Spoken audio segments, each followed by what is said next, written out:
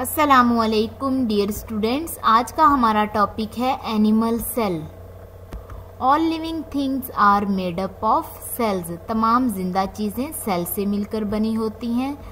Cells hold all the equipments and information necessary to keep an organism alive cell के अंदर तमाम equipment होते हैं. इक्विपमेंट मीन सामान एंड इंफॉर्मेशन और इंफॉर्मेशन मीन मालूमात. सेल के अंदर तमाम इंफॉर्मेशन और मालूम होती है, जो सेल को ज़िंदा रखने के लिए ज़रूरी होती है।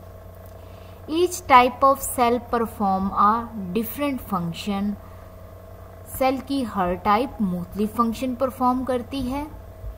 देयर आर नर्व सेल्स और एनिमल्स के अंदर नर्व सेल्स होते हैं।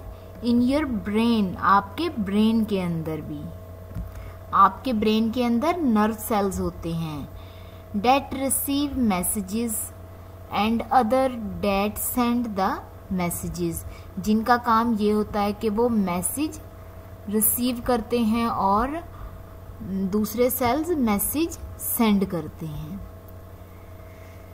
देर आर ब्लड सेल्स और हमारी बॉडी के अंदर ब्लड सेल्स भी होते हैं। That carry oxygen around the body जो पूरी बॉडी के अंदर ऑक्सीजन कैरी करते हैं। And other that protects the body against the disease और कुछ ऐसे सेल्स होते हैं जो हमारी बॉडी को बीमारियों से बचाते हैं, इनकी हिफाजत करते हैं। An animal cell look like this एक एनिमल सेल इस तरह से नज़र आता है।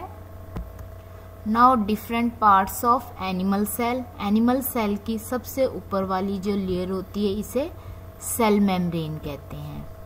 और इसके अलावा इसके सेंट्रल पार्ट दिस वन ये न्यूक्लियस है, जिसके अंदर सारी इंफॉर्मेशन होती हैं।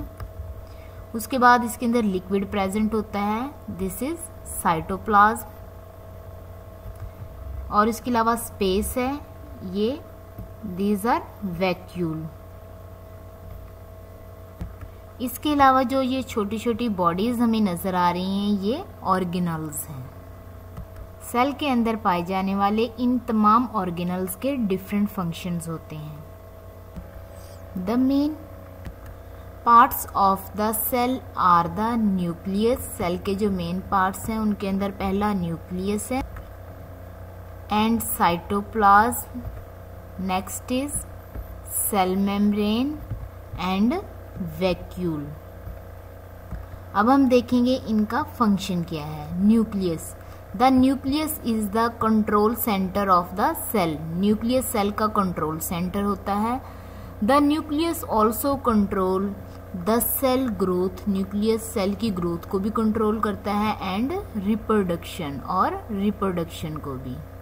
रिप्रोडक्शन का मतलब होता है एक ऑर्गेनिज्म से न्यू ऑर्गेनिज्म बनना। The cytoplasm help to move material cytoplasm का काम किया है कि ये मटेरियल को सेल के अंदर मूव करने में हेल्प करता है। Move material around the cell and also dissolve the waste cytoplasm waste को भी डिजोल्व करता है। Next is vacuole vacuole is a space in the cytoplasm vacuole cytoplasm में प्रेजेंट स्पेस होती है। Containing air liquid and food और जो कि हवा लिक्विड और फ़ूड पर मुश्तमिल होती है। Next is cell membrane cell membrane act as a barrier to the world around the cell outside the cell cell membrane barrier होता है बैरियर कहते हैं रुकावट को, जो आउटसाइड द सेल सेल के बाहर जो इर्द गिर्द चीज़ें हैं, उनके गिर्द ये एक बैरियर है, रुकावट है। It lets the right things out of the cell and stop dangerous thing getting in. Cell membrane का काम ये होता है कि ये जो बेस्ट थिंग्स होती हैं, जो राइट right थिंग्स होती हैं, उन्हें तो सेल से बाहर जाने देती है। लेकिन जो डेंजरस थिंग्स होती हैं, उन्हें सेल के अंदर नहीं आने देती। The smaller parts within the cell cell के अंदर और जो छोटे छोटे पार्ट्स होते हैं, उन्हें ऑर्गेनल्स कहते हैं। थैंक यू सो मच अल्लाह हाफि